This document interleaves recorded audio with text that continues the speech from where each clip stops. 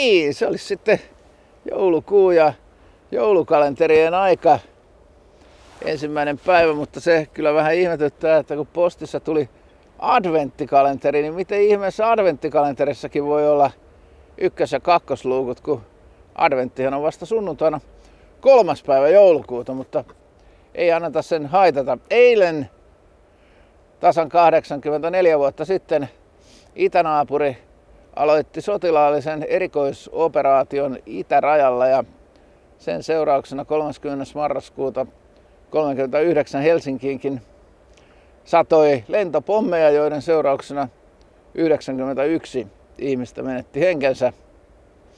Elämme todellakin outoja aikoja taas.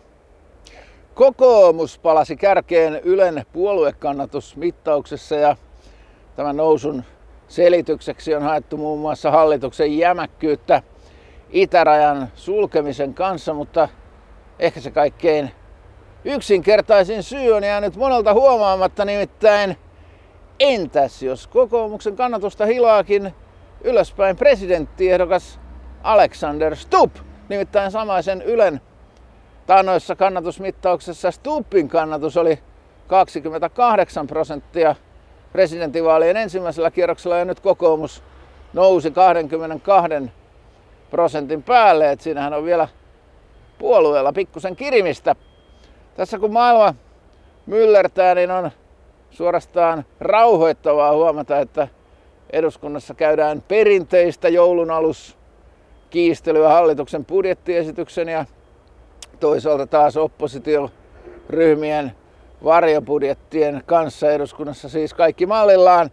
Sekaisin on ainoastaan Krista Kiurun johtama sosiaali- ja terveysvaliokunta, tai no tietysti voi olla, että tänään eduskunnassa on sekaisin joku muukin, sillä nimittäin eilen torstai-iltana eduskunnassa vietettiin pikkujouluja.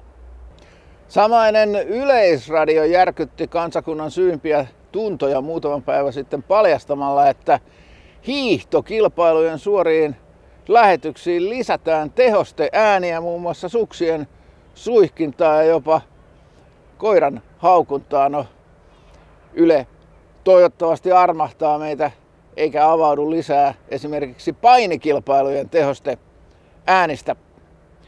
Perinteisistä talvilajeista jalkapallon kotoinen sarjakausi tai eurooppalainen sarjakausi, miten vaan taisi päättyä torstai-iltana, kun melkoisessa lumimyräkässä Helsingin jalkapalloklubi ja skotlantilainen Aberdeen kohtasivat toisensa töölössä ja ottelu jouduttiin keskeyttämään vartiksi, kun areenalle ajettiin kesken ottelun kolme lumitraktoria. Ja tästä Skottimedia riehaantui niin paljon, että kirjoitti sanan tree isoilla tikkukirjaimilla, eli versaalilla syy tähän hämmennykseen on tietysti se, että kuuleman mukaan koko Skotlannissa on vain kaksi lumiauraa. No, totuus näistä Bolliksen lumitraktoreista lienee kuitenkin se, että HJK Pomo Aki Riihilahti on pikkupojasta lähtien ollut kateellinen viereisen Nordiksen jäähallin